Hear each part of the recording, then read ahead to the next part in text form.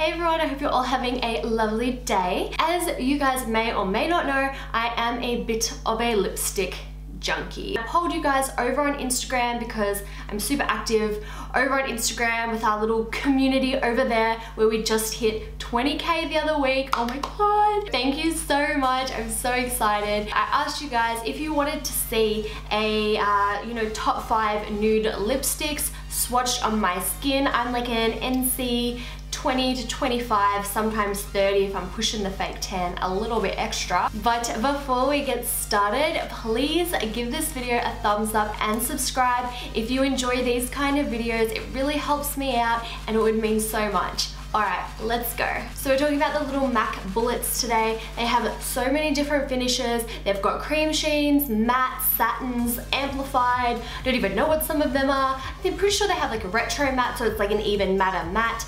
They have so many different formulas and I have really really enjoyed every single formula that I've tried but today we're talking about the nude lipsticks. Most of the nudes I've chosen have like a bit more of a pinky tone because I find that I generally throw like my lips generally throw a bit of orange. So yeah, I, I, like to have a little bit more pink. That way when it sets down and dries, it's just a bit more flattering on my coloring and complexion and everything. So let's talk about the one that's already on my lips. This is Modesty. It is a cream sheen finish. It is absolutely gorgeous. So I was really lucky. I got to go to one of the MAC counters and I had one of the girls, you know, match up a nice nude lip for me. So I told her some of my other favorites, which I'll talk about in a second. And and you know some of them I like to mix and everything. So she was like oh this one's nice and in between this this and that.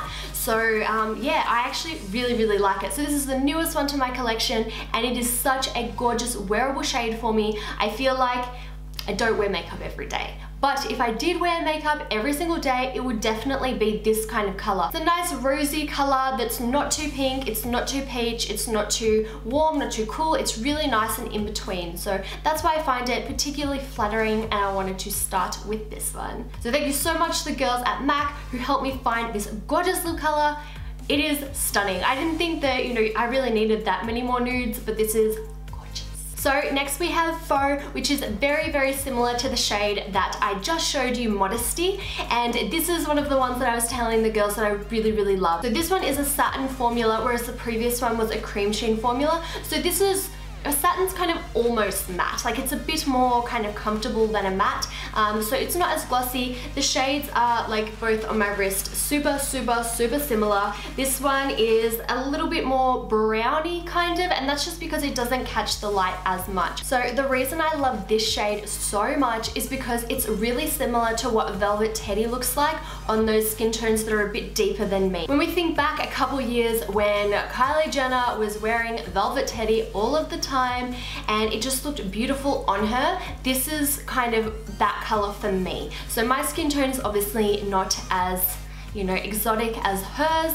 So that's why I really, really like this one. If you just compare them, see this is Velvet Teddy, it's a little bit uh, a smidge darker, but it's more so orangey. And whereas this is the one I'm wearing now, which is a little bit more pinky. So that's why I kind of like it. I do like Velvet Teddy when I go up to that more like NC30, 35 Real Deep Fake Tan, uh, but for me, this is kind of that equivalent. I find it can be a little bit hard because you know, you see a lipstick on someone and you think that is amazing, and you try it on yourself and it might not be bad, but it's just not what it looks like on them. So that's why I really like this one. Honestly, you probably don't need Modesty and Faux. It just depends on your preference. If you like it to be a little bit more creamy, a little bit more glossy, then definitely go Modesty. Um, if you want it to be a little bit closer to matte, but still really nice and comfortable, then I would go for Faux. Here we have obviously a bit more of a true nude shade. This is Blankety. It is an amplified formula, so it is really nice and kind of glossy. I honestly could not tell you the difference between like amplified and cream sheen. To me, they feel really, really similar. Um, I think maybe if anything, amplified has like a little bit more pigmentation. Some of the cream sheen formulas are a little bit more sheer. So I think that might be it, but they're both like really nice and glossy and everything. If you mix kind of Blankety and Faux together, that's really similar to Modesty. So that's the two that I was like really saying I really like these and that's why um, the girls at MAC decided that Modesty would be a good shade for me. You can see it's a little bit lighter, it's a little bit uh, I want to say a little bit more like peachy, but it's not peachy, like it is still quite neutral on my skin tone. Definitely if you put this on someone a bit fairer or a bit more cool tone than me, you know, it would look very different. But if you have this kind of like more uh, warm, but still fair kind of medium light kind of tone, the NC 2025, then yeah, this is kind of what it's gonna look like. So this is definitely more of your true and nude. Personally, I probably pair this one with some kind of lip pencil or something just to give it a little bit more definition, but you totally don't have to. So far, I haven't put a lip pencil on with any of these shades, and I think they all look pretty good. I hope you guys would agree. Please let me know if I'm wrong and I'm a bit delusional. So this one is Pure Zen. It is a cream sheen formula. It is a little less pigmented than the previous one. So that's where I think, you know, cream sheen is like nice and creamy and glossy, but like a little bit more sheer. I personally find that those sheer lipsticks are a little bit more wearable if you're not too sure because it lets a smidge of your natural lip coloring show through. As you can see, this one is definitely more peachy than the last. It definitely doesn't look too orange though. That is something that just does not flatter my teeth. It makes them look so yellow as if a lipstick is too, too warm. So this is as warm as I would go. I personally wear this one with a lip pencil, but I wanted to show you how they look all on their own. This one definitely does not go with my makeup at the moment. As you can see, my eyes are definitely more cool tone than what I would normally go for. This is the kind of color that I would wear with, you know, like just a bronze smoky eye, just bronzer all over the eye in general, uh, but definitely those more warm tones and when I want the eyes to be the feature, but I still want something nice on the lips. That is definitely this. This is definitely the most different out of all of the shades that I've showed you so far. Lastly, we have one of the MAC Viva Glam lipsticks, and if you guys didn't know, MAC partner with different celebrities and they come out with the Viva Glam lipsticks, and a certain percentage goes to charity, which is really nice. You know, they're such a big company, they don't have to do that. People are gonna buy the lipsticks anyway, but it is a really nice cause. So this one here is Viva Glam 2. It is a satin finish. It is on the same kind of spectrum as the shades that I have shown you, but this is definitely the most cool tone shade shade. I personally wear this as well when I don't have any fake tan on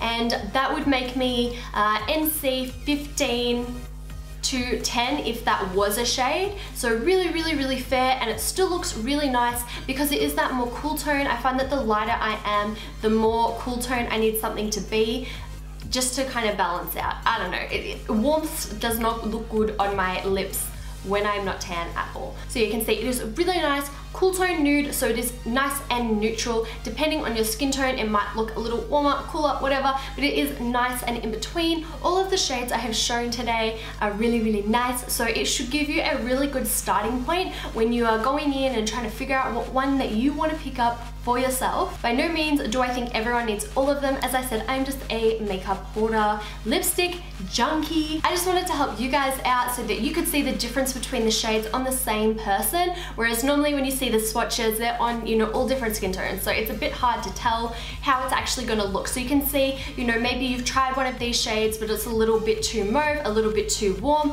And then I've showed you a different shade and it's a little bit different. You might be able to kind of uh, tell a little bit more easily there. Now, now, none of the shades that I've talked about have been matte. I do have some matte lipsticks from MAC and they are really nice. Velvet Teddy is a matte. I have the Nakia Joy lipstick, which is a matte.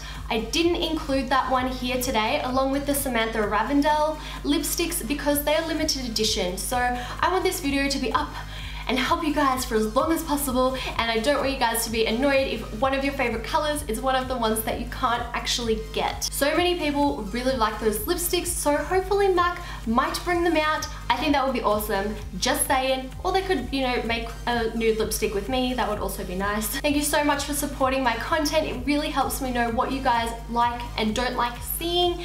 We just hit 10,000 in our little family here, which is so amazing. We also hit 20,000 over on Instagram, so that is just awesome. You guys are the best. Please feel free to share all of my videos anything like that, tag your friends in different posts help grow our little family. It would mean so much to me. Anyway, thank you so much for taking the time to have a little chat with me today and I'll see you guys next time. Bye. Also, let me know your favorites down below because I'm always up for trying new colors, new shades, everything like that. Even if they're not nudes and you think that I would love it, let me know down below.